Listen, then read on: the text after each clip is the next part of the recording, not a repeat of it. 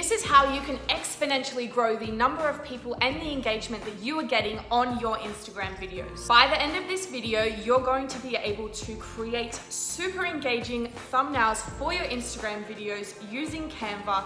We are going to be giving you the step-by-step -step process that you need to follow to grow your engagement and get more people watching your videos.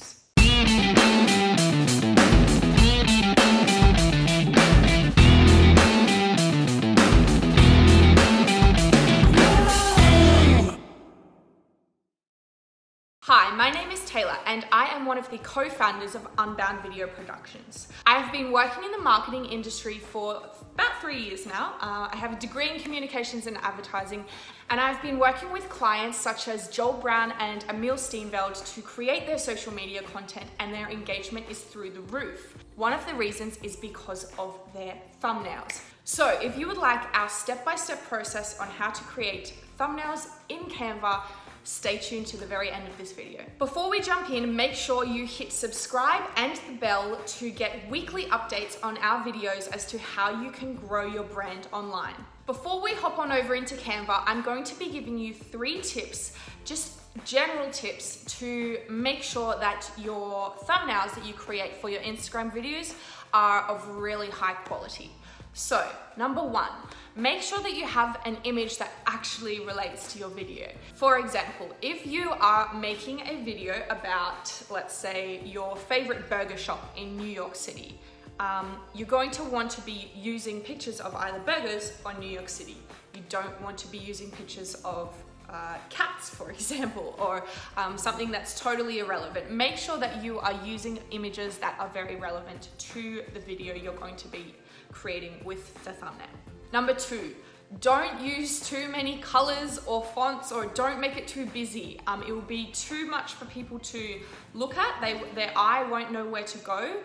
Make sure that you use simple colors, simple fonts, and that it's very impactful when people look at it because you've got three seconds to get their attention to see if they want to watch the video or not. And one of those seconds is going to be looking at the thumbnail. So make sure that it's easy for people to look at and very uh, engaging as well. Number three, it needs to match your branding. So obviously for your business or your personal brand, you have uh, brand guidelines that you have different fonts and colors that you are consistently using. Make sure that the thumbnail is in alignment with your brand guidelines. The overall look and feel of your profile, it needs to be cohesive and it needs to look like it's been well planned out and um, it's all in alignment with your branding. So make sure that your thumbnail um, uses the correct brand guidelines for your business or personal brand. Okay, now let's head on over to Canva and I will take you through our step-by-step -step process on how to create Instagram thumbnails in Canva. Okay, so first things first, we need to log into Canva. This is what it looks like when you log in. If you don't have a Canva login already, um, simply type in canva.com up the top here and it will open up a new page for you to create a login and you can create a free login from there. Once you are in Canva, this is what it will look like. So we can see these are all my past designs. We have posters. There's different templates that you can use for everything. So up the top here, create a design we can see if we click on this, there are many different designs that we can choose from. What we are going to be creating today is Instagram story because we need to create a custom thumbnail for our Instagram video. So we click on that, we can see that we have the file here that is the correct dimensions for what we are creating. Over here, we have a whole bunch of templates that we can use. So if you struggle with coming up with beautiful designs, there are a lot of beautiful templates here that you can use to create your custom Instagram video thumbnail. But for the purpose of this, I'm going to be creating one completely from scratch.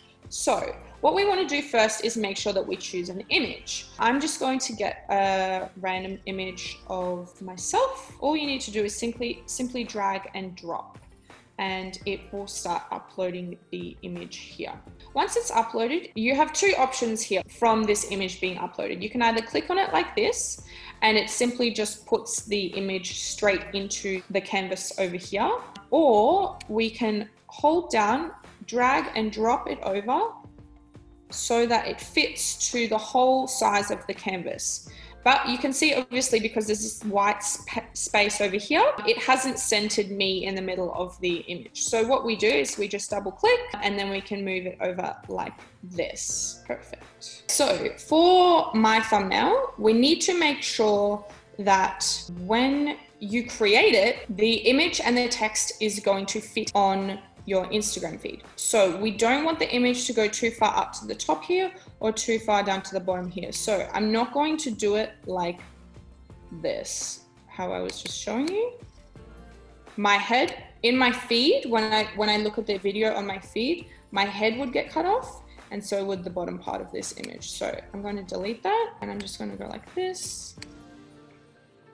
The great thing about Canva is it gives you these automatic lines. So this image is now in the center. It's also now in the center horizontally and vertically now. So I'm going to keep it off center because I want myself to be included in it. Now I want these bricks to still be up the top here and down the bottom here. So what I'm actually going to do is I'm going to add in another image like that.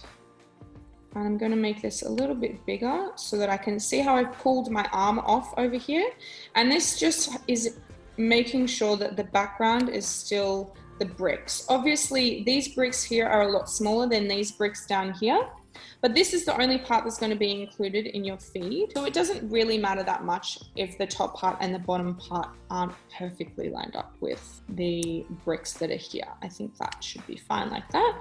Okay, so now we have our image. So I am going to now add text to my image. When you click on the text button over here, it gives you the option to just add a header, a subheading, or some body text here. But there are also all of these really cool little templates for text that you can use as well. So you can see different fonts, different designs added in with the text.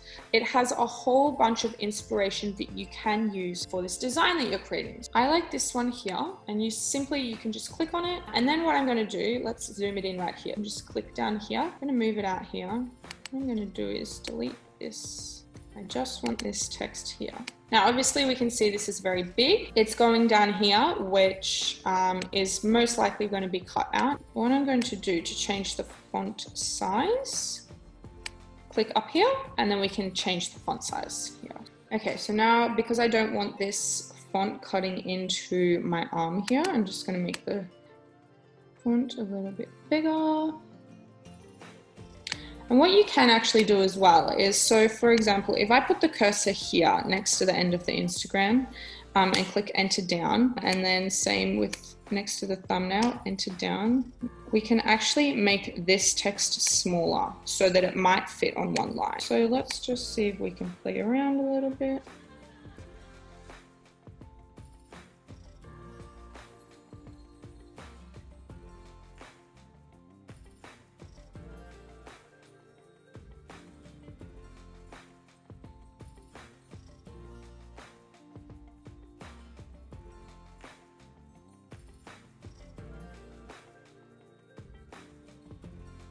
Now this color feels very harsh for me with the color of this um, image for the text. So what I'm going to do is instead of just having the black like this, I'm going to have the black and then I'm going to click on this, click Control C to copy it, and then Control V to paste it. So it makes two versions of this text. Now, why am I doing this? What I'm going to do is I'm going to actually put another level over the top. Okay, so I have chosen a color that I like for the font to match the image. This is not the thumbnail that I'm going to be using for this actual video.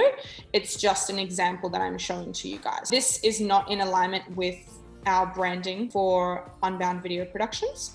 We're going to be using a different image and we will have the text that is in alignment with our branding. But for the purposes of this tutorial, I wanted to use this image because it's a nice image that we can use for a thumbnail and it will get a lot of engagement because I'm facing the camera, I'm smiling, and those sorts of images tend to get really good engagement. So I've chosen an, a color that I like. I've got the two layers of the text so that provides a bit of a 3D effect with the text. And then if you want to add any different elements or lines, we can do that. Maybe we want to add in a line. Maybe we wanted to add in a shape behind the text. We can select this. Let's make this background white. As you can see, the black version of the text is behind this white text box, which we do not want. So to move the position of it, click on it, make sure that it's clicked on, click position, and we can go backwards and backwards again. So we want it to be in front of the image, but behind the text, just so we can make this text stand out a little bit more. So what I'm actually going to do, I'm going to make different versions of this text box to fit and go behind each line of text. So I'm also going to make it a little bit transparent. So to make it an image transparent, you can click on this thing up here um, and pull that down and it just makes it a little bit see-through just so it's not quite as harsh on the eye. So I'm going to now copy and paste a whole bunch of these and I'm going to pull them so that they're in line with the text that they're going over. Now the reason I'm separating these all is because if I did it as one, it was these ones up here were going to cover my arm and I don't want that. So I want them to, I want to still be able to see my arm. And as you can see, this is just helping to make the text stand out a little bit more. Cool, okay, that looks much better, I think. As you can see, this just helps to make the text stand out a little bit. As you can see, this is just a super simple design. It only took a few minutes to create, but these sorts of thumbnail designs on Instagram videos get super high engagement um, because they're simple, they're impactful, and it really makes it clear the title of the video and what the audience is going to get from watching the video. To export this, all we need to do, firstly, we'll just change the name of this. So we just name the file whatever we need to name it. And then we can just click this download button here. Download as a PNG is fine. And we click download and that's it. Once this is done, this is now saved down here into your downloads folder and you can use it to then upload into Instagram videos. So we're also going to be creating another video on how to upload your custom thumbnails into IGTV. So make sure to stay tuned for that video if you are unsure as to how to upload your thumbnail in IGTV. But that is pretty much all we need to do in Canva to create our custom thumbnails. And that is it. So if you guys would like to receive weekly updates from us, we will be sharing a lot of videos on how to grow your brand online using video marketing, using content marketing. We're going to be producing a lot of videos that provide lots of value. So make sure you hit subscribe, uh, hit the bell, leave us a comment if you liked the video, and we'll be seeing you in the next episode. Bye.